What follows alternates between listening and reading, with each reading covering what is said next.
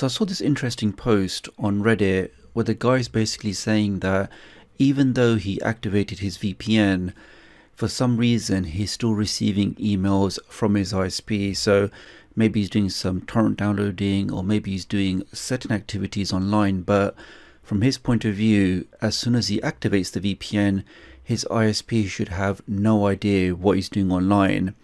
And to be honest, that's not completely true because there are certain conditions where even after you activate your VPN, your ISP could still potentially see what you're doing online. So in this video today, let me show you a couple of websites we can quickly access just to fully confirm that our VPN is properly activated and we're not leaking any data to our ISP. And I'll also show you one extra tip at the end on how we can take our ISP out of the name resolution equation. So do take a moment to hit that like button, make sure you hit that subscribe button. So with all of that being said, you are watching the new Tech Doctor UK Extra channel.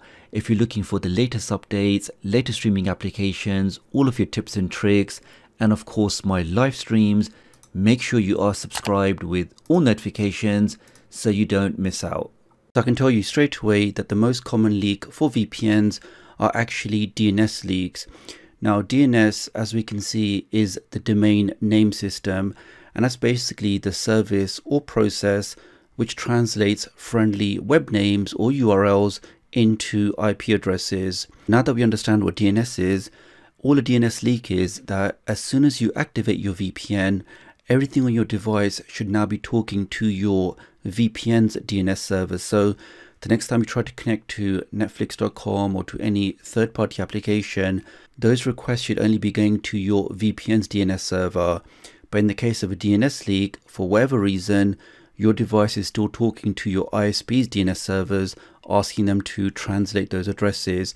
And that's basically how your ISP can still see what you're doing even though you've activated your VPN. And here's a great picture that explains what the issue is. So this could be your Fire Stick or your Android device or your PC. Here's your secure VPN tunnel. So this is now where all of your traffic should be traveling. But in the case of a DNS leak, for whatever reason, your device is still talking to your ISP's DNS servers. So if they look through the logs, they can say that Tech Doctor was trying to resolve the IP address for streamingmovie.com or for netflix.com or whatever I'm trying to do those requests were still going to the ISP and not through the VPN tunnel. And that once again is essentially what a DNS leak is. So with all of that information, how can we now actually check to see if our VPN is leaking those queries or not? Now the easiest way to do that on your device, whether it's a Fire Stick or your PC or your Nvidia Shield, is to open up your favorite browser. Now on my device, I'm doing this on the 4K Fire Stick. I've not activated my VPN. I'm just going to open up my browser, which is going to be downloader. And in the address bar, let's just type in DNS leak and click on go. So we're just searching for that phrase DNS leak. And the actual website we want is called dnsleaktest.com. So scroll down and the first one on the list is dnsleaktest.com. So let's click on that. Now, when you get to the site, the first thing it will show you is your current IP address. Now, obviously, when you haven't activated your VPN, you'll see your current IP address uh, issued by your ISP. And once we do turn on our VPN, that address should definitely change. And if it doesn't change, then you've got some issues with your VPN. So the first thing I want to do in here is just click on uh, extended test. And this will now basically do multiple DNS queries from my device to work out which DNS servers is my device using. Now, as I mentioned that on my device, I've not activated the VPN, so this should just use my current configured DNS servers. And we can see with my results, it's found the Cloudflare DNS servers. And the reason for that is in my house, I actually use the Cloudflare DNS servers. I don't use my ISP's DNS servers. And that's basically the bonus tip I had for you that you can actually configure your router or your router. So instead of using your ISP's DNS servers, it can use public DNS servers like Google DNS or Cloudflare, or there's lots of different other public DNS servers out there. And what that means is whether I'm using a VPN or not, my DNS requests are never going to my ISP. They're going to a third party like Cloudflare or one of the other providers. Let's back out of that. So let me now activate my VPN. So my VPN is now activated and I'm using a server in New York. Let's press the home button. Let's go back to the same website. And we can see straight away that it now thinks I'm in New York and the IP address has changed.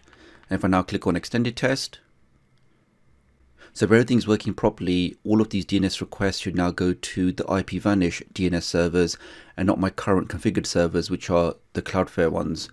Let's go down and we can see it's done exactly that. So this is a DNS server, uh, must be owned by IPVanish and it's running in United States. So that just confirms that when I do activate my VPN, my device is no longer using my current configured DNS servers, it's now using my VPN DNS servers. Now the second website which is really good for this is ipleak.net. Now as soon as you get to the site, it will do a quick scan of your system, it will tell you what your current IP address is, and then also check to see if there's any DNS leaks on your uh, device.